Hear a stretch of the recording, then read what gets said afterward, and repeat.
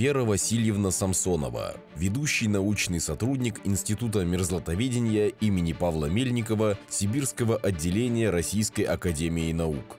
Основное направление научных исследований – мерзлотно-ландшафтное картографирование, инженерная геология, мониторинг и микробиология криолитозоны. Член Русского географического общества. Кандидат географических наук.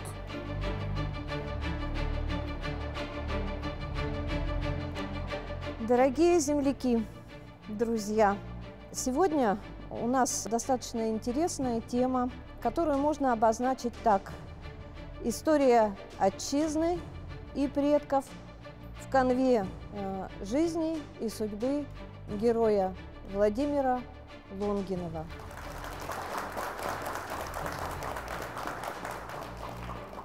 Все мы обязаны, каждый из вас и я, всем предыдущим поколениям наших предков тем, что мы живы, тем, что у нас сегодня такое, какое оно есть. И Владимир Лунгинов не исключение. Вся история, известная на сегодня, начинается очень давно, еще до Петра I.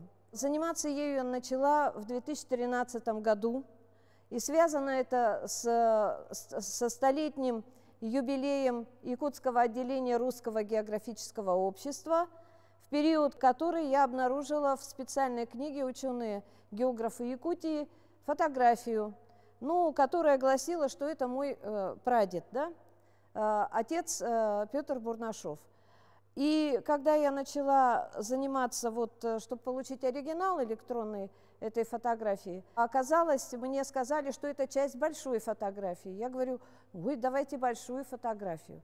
И вот с этого началось, и начала открываться вот история рода Лонгиновых для меня, потому что долгие годы был разрыв, особенно не распространялись о предках э, священников в определенное время – Э, церковь была вне государства, это 20-е, 30-е и часть 40-х годов. И э, вот, э, в принципе, и вы можете найти о своих предках в архивах нашей республики очень много сведений. Вот э, начинается известная история Лонгиновых э, с этой страницы. В 1685 году, еще до Петра I, в Москве появилась первое высшее учебное заведение, которое называлось Славяно-Греко-Латинская академия или Славянские школы. Оно появилось при Богоявленском соборе, за иконоспасский еще там э, монастырь есть. И, э, значит, это в самом центре э, Москвы, в двух шагах от Красной площади. Вот в этом учебном заведении – учился основатель династии Лонгиновых и Логиновых, он был Логинов, э, камчатских священников. Он был сыном э, значит, новгородского священника, которого звали Михаил Романович.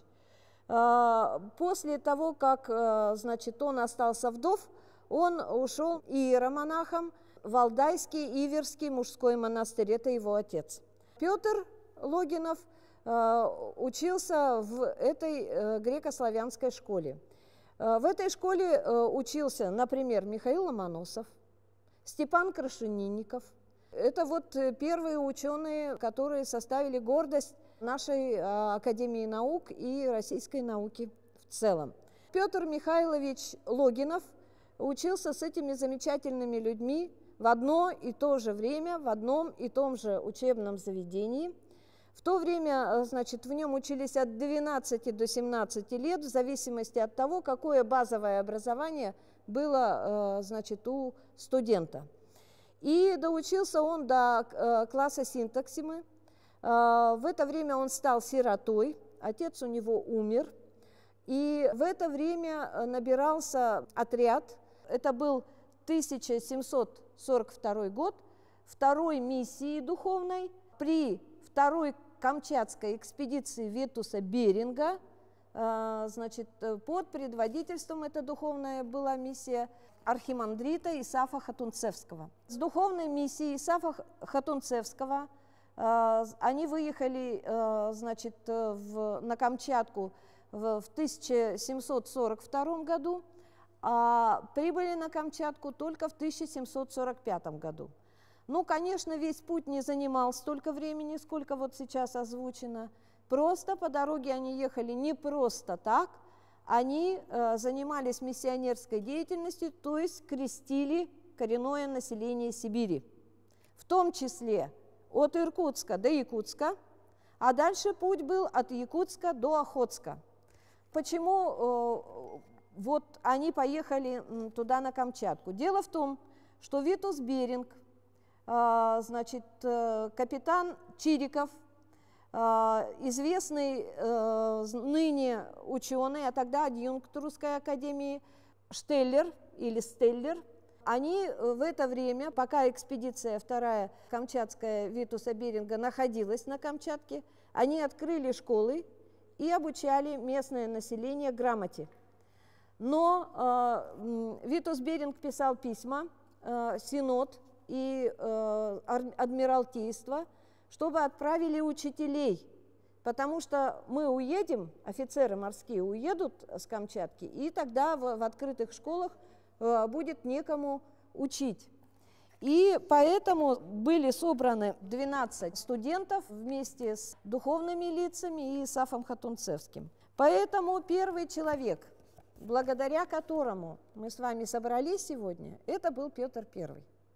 Это он отправил и первую, и вторую экспедицию Витуса Беринга э, значит, на Камчатку. И э, вот э, первый Лонгинов, который, Логинов, которого звали Петр Михайлович, он служил в Большерецке учителем, вот так он и был первым учителем штатским, значит, там. И он был учителем даже и остался на Камчатке после того, как Э, миссия архимандрита Хатунцевского выехала с Камчатки. И более того, в 1760 э, году он совершил второе путешествие через наши земли, через земли Якутии, э, значит, с Камчатки до Охотска и затем до Иркутска. Потому что в Иркутске он был посвящен в сан священника и затем обратно возвращался на Камчатку. Но он умер в 1771 году. А, тем не менее, у него было много сыновей, которые все пошли по духовной линии. И одним из сыновей был Петр Петрович Логинов, у которого родился сын, который тоже стал священником, Алексей Петрович. И у Алексея Петровича интересная судьба – потому что второй великий человек, э, значит, ну это уже третий, потому что я пропустила святителя Сафрония, он святой иркутский, который посвящал сан Петра Михайловича Логинова.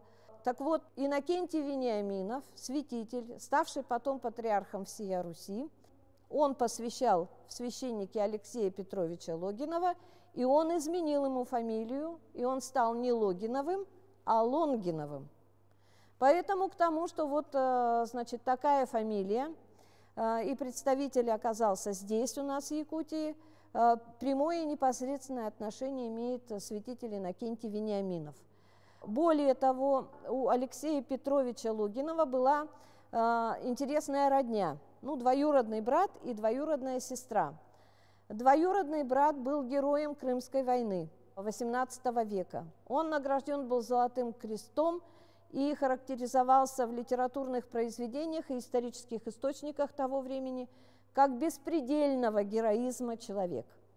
То есть, получается, э, Петр Михайлович, который отправился на Камчатку, был бесстрашным человеком, потому что это надо было пересечь всю страну, затем море, э, значит, э, в неизведанные совершенно края, где много диких зверей, и жить там еще – Затем вот беспредельным мужеством отличался его внук, Георгий его звали Иванович Логинов, который был награжден крестом и потом был настоятелем Петропавловского собора, протеереем камчатским.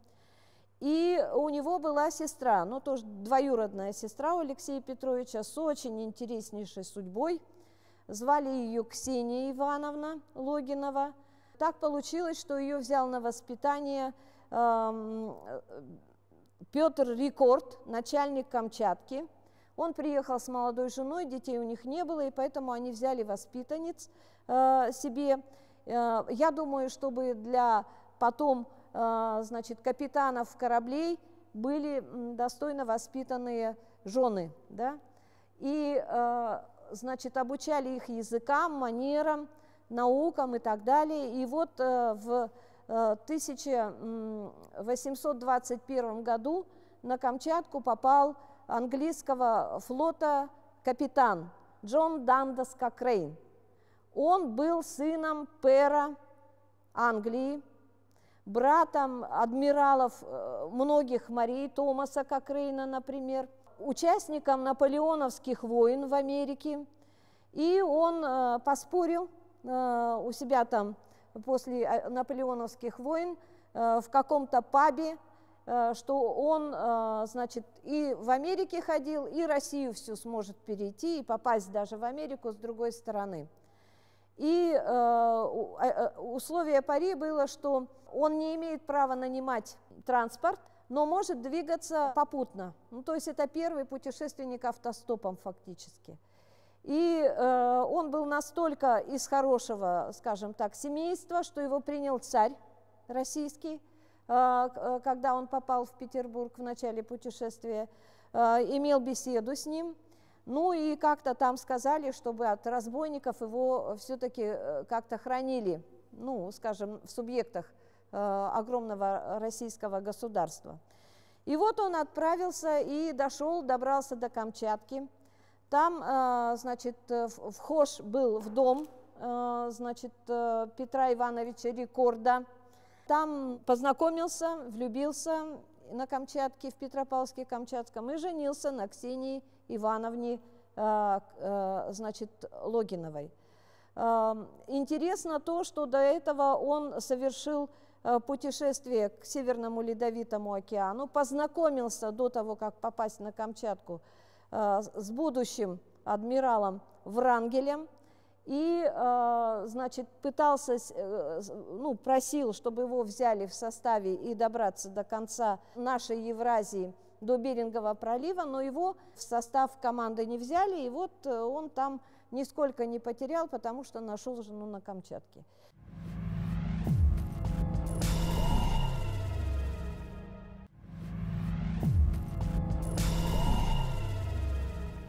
Камчатки они возвратились, при этом у него условием пари было не только с запада на восток, но и с севера на юг пересечь э, нашу страну. И он э, из Иркутска съездил в Кяхту, когда на обратном пути они возвращались. Ну и таким образом он э, в споре победил, потому что он и так с, восток, с запада на восток пересек, и с севера на юг пересек э, вот эту вот нашу необъятную страну и вернулся с Ксенией в Англию. А затем они уехали в Южную Америку. Там была огромная страна Колумбия, она тогда была империей, сейчас от нее маленькая часть только осталась. И вот в этой Колумбии у Кокрейнов были, ну, грубо говоря, прииски какие-то. И э, там они, конечно, прожили, не знаю, насколько счастливо, но недолго – потому что э, ну, там, э, скажем, путешествуя по делам, в Доминикану он ездил, он заразился лихорадкой тропической и умер. И Ксения возвратилась в Санкт-Петербург, где жила к этому времени жена и э, Петр Иванович Рекорды.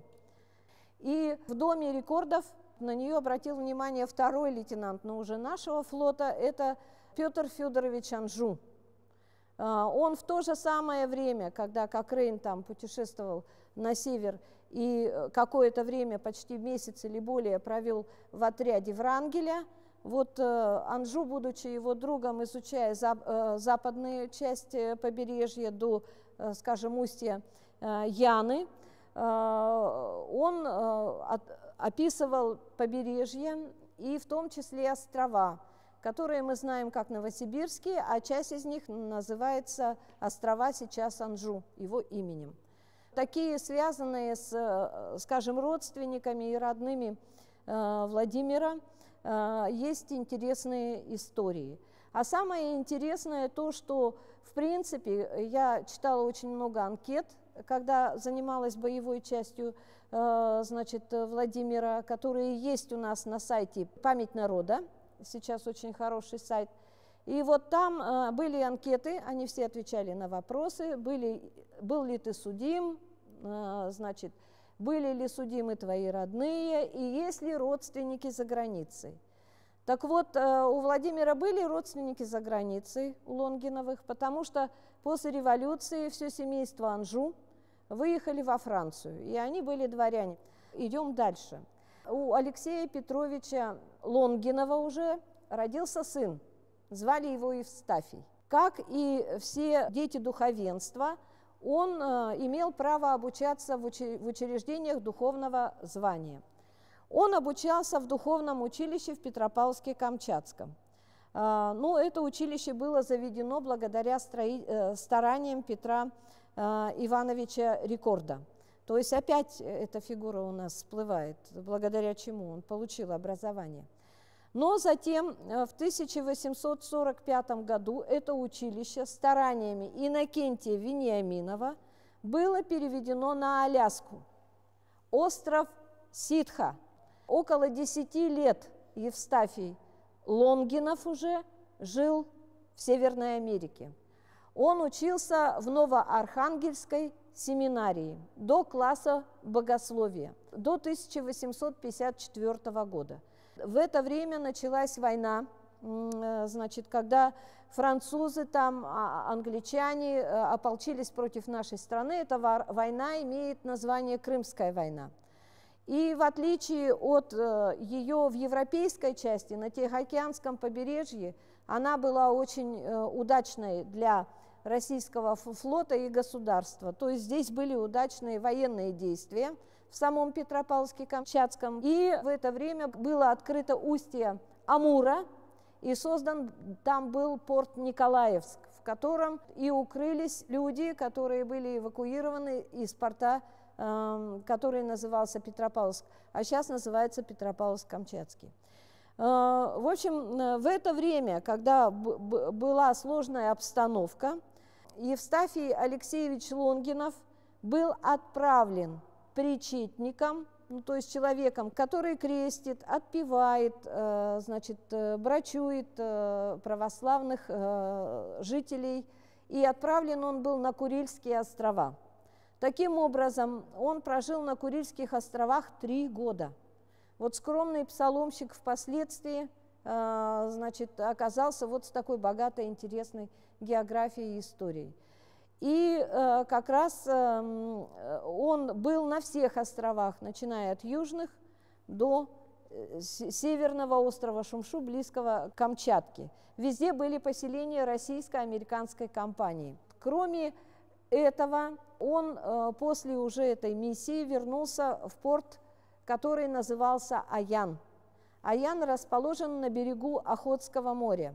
Он был создан после э, порта Охотск и выполнял важнейшую миссию, потому что там не только э, значит, был расположен гарнизон, склады и так далее российско-американской компании, но и присутствовали корабли российского флота. В этот порт Аян там построили церковь стараниями адмирала Завойка и э, Иннокентия Вениаминова. И вот в этой э, церкви и служил дьячком Евстафий Алексеевич Лонгинов. Но я смотрела клировые ведомости и архивные документы. Там было написано, что здоровье у него было не очень, я думаю, наверное, ревматизм был в связи с сырым климатом. И его поэтому перевели в Центральную Якутию, в Дюбсинский улус, где он и прожил с 1860 года до дня своей, своей смерти, до 1887 года. И служил в этой церкви в Дюбсинской псаломщиком.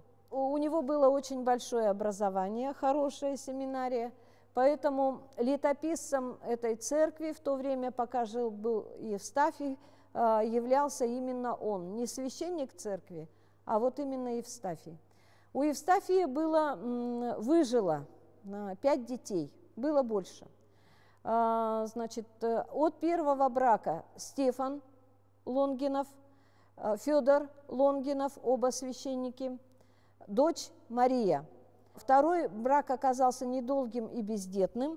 И в третьем браке родился Дионисий, отец героя Владимира Лонгинова, и моя прабабушка Анна. А, почему было три брака? Да, им разрешалось три брака. Если вовремя родятся, там особые были, э, если вовремя женятся, да, там особые условия были. Потому что в то время священники обязаны были вместе с причетниками а, ездить, и у нас э, не было таких населенных пунктов, как сейчас. А, это в населенном пункте стояла церковь, и хорошо, если два дома – а все остальные жили э, по своим аласам. И вот для того, чтобы выполнить э, свою миссию, они должны были э, значит, постоянно ездить в дальние расстояния, иногда до тысячи километров.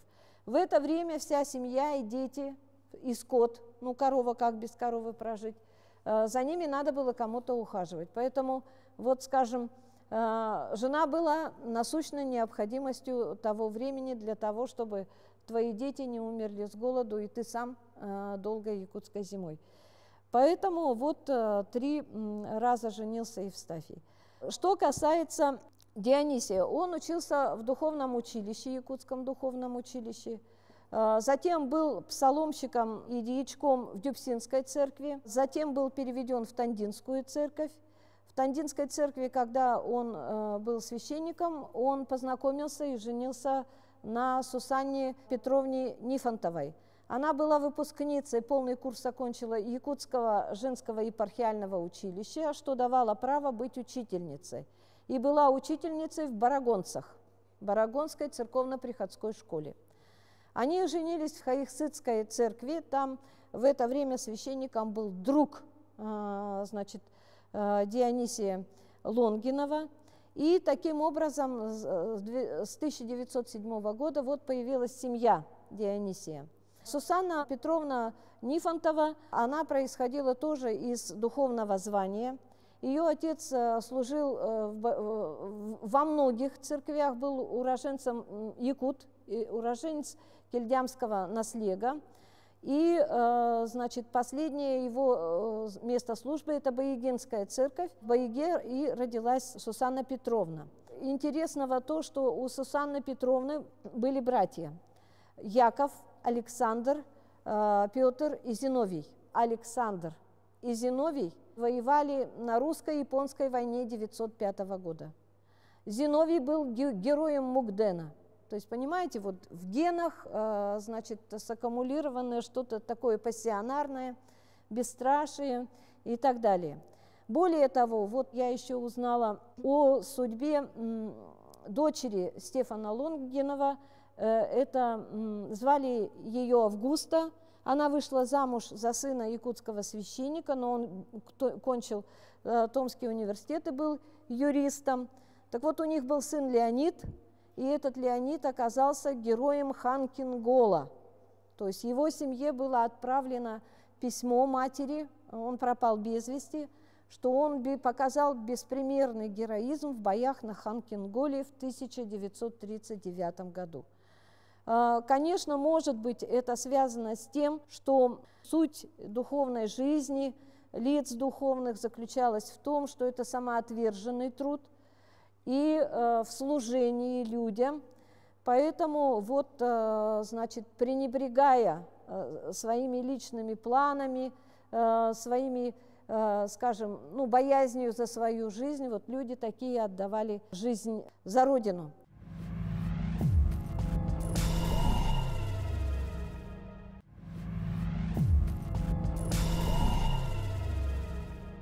Из интересных обстоятельств, которые влияли и на Владимира, было то, что Стефан э, Евстафьевич Лунгинов был ну, фактически арестован, репрессирован в 1922 году и убит при попытке бегства из ВЧК. Тоже из этих отягчающих жизнь Лонгиновых и Владимира обстоятельств было то, что э, брат Петр Петрович Нифонтов – в 1930 году он был священником, также был репрессирован. отец героя Мугдена, Винокуров Иннокентий Михайлович в 1939 году также был репрессирован в Новоиркутске. Поэтому вот эти, скажем, потомки священников – Э, которые были репрессированы, своей жизнью и своим подвигом доказали, что все э, значит, подозрения э, новой власти в лояльности этих людей были напрасны. Потому что вот позавчера я нашла на сайте «Память народа» сведения о дочери Зиновия Петровича Нифонтова, Ольги Зиновьевны. Оказывается, она тоже ушла на войну и э, там воевала, и удостоена наград за свой боевой путь.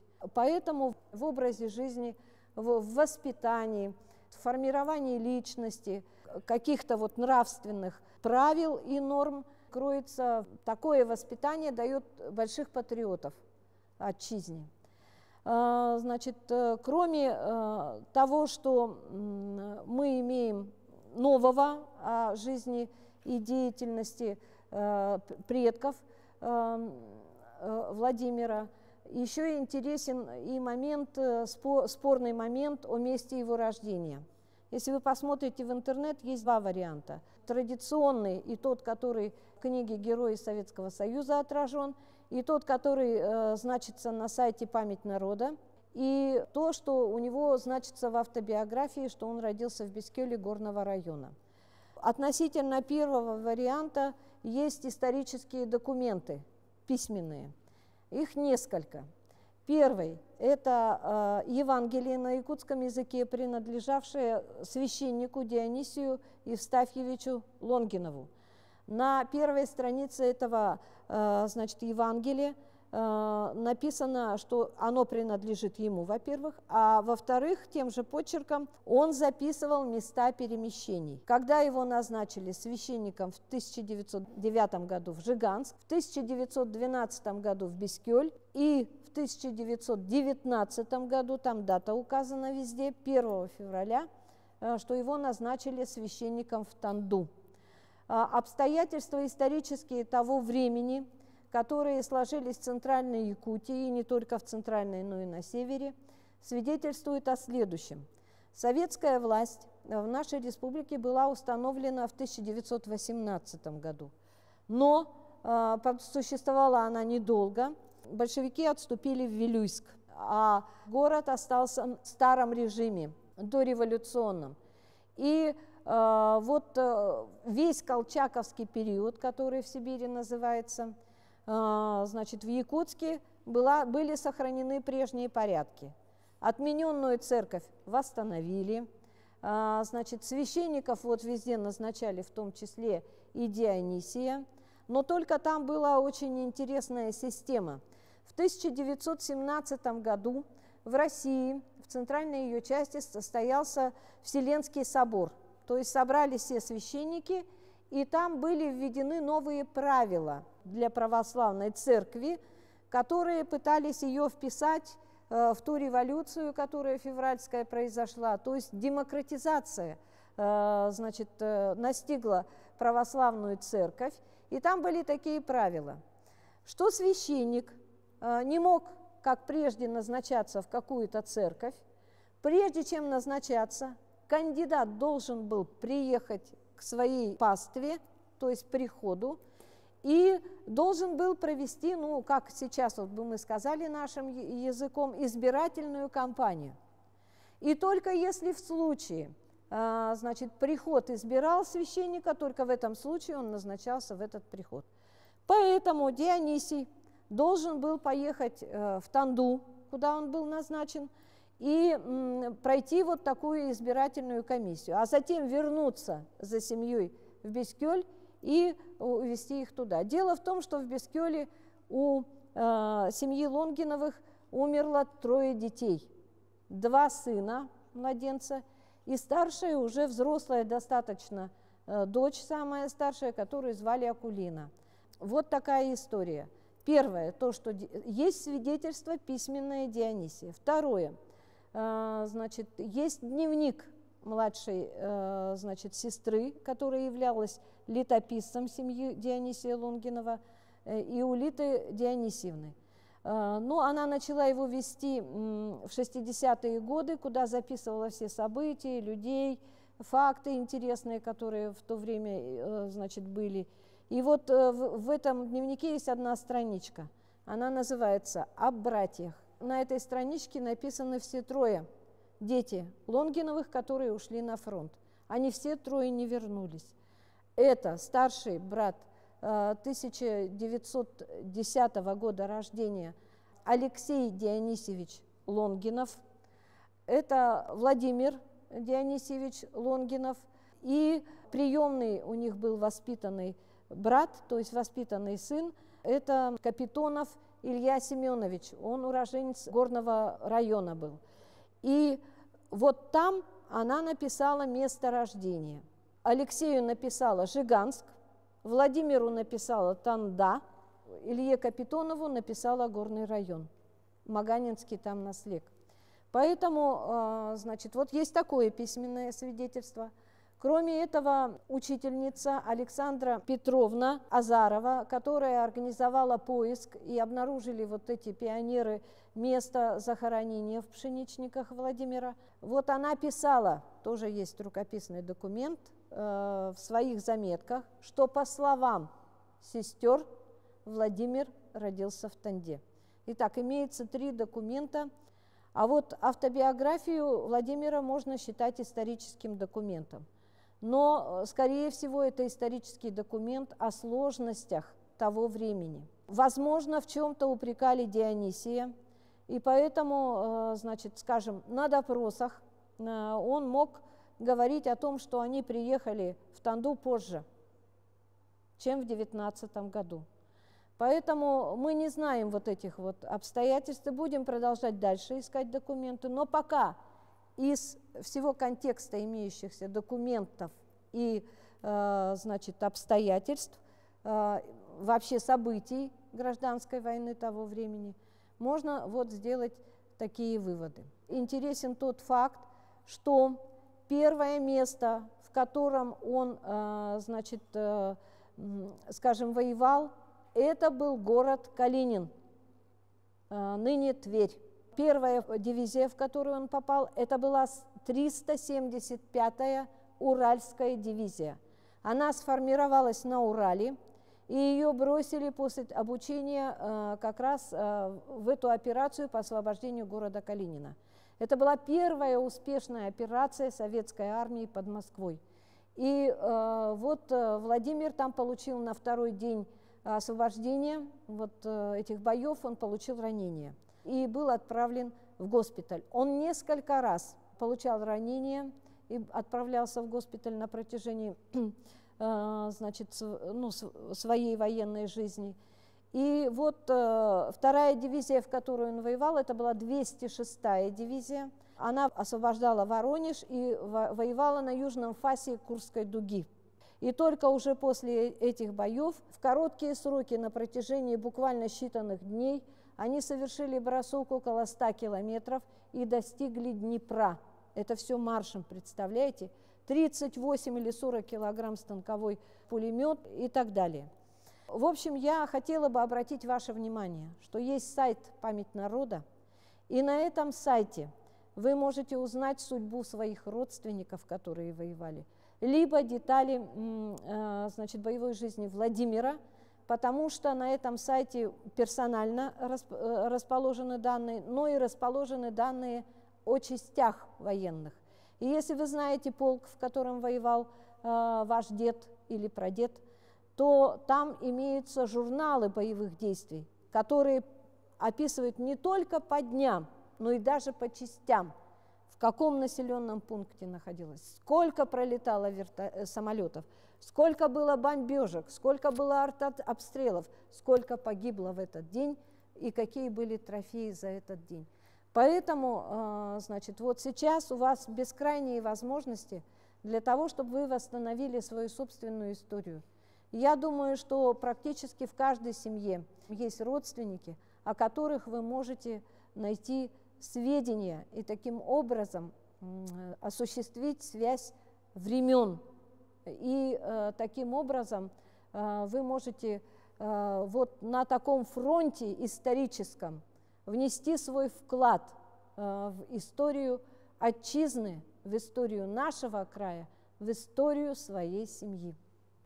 Дорогие друзья, я благодарна вам за исключительное внимание э, значит, э, вот к жизни и фактам из э, жизни Владимира и его родственников. И надеюсь, что мы еще с вами поговорим на эту тему, но уже про другие обстоятельства. Всего доброго!